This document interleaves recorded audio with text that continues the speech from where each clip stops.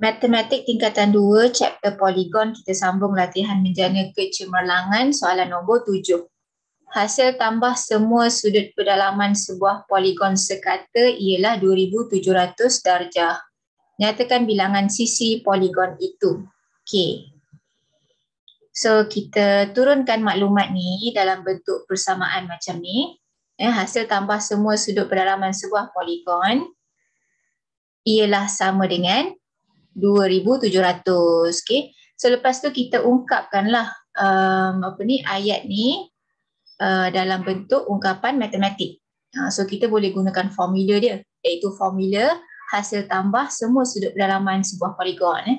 Uh, so formula dia ialah n tolak 2 darab 180 di mana n ialah bilangan sisi poligon itu. Okey? So sekarang ni ada satu persamaan dengan n sahaja sebagai unknown iaitu bilangan sisi.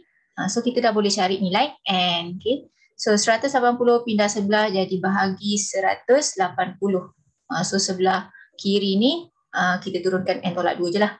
So 2700 bahagi 180 awak akan dapat 15. Lepas tu negatif 2 pula pindah sebelah jadi tambah 2. 15 tambah 2, 17. So N, N sama dengan 17. Bilangan sisi ialah 17. Okay, bilangan sisi poligon itu ialah 17.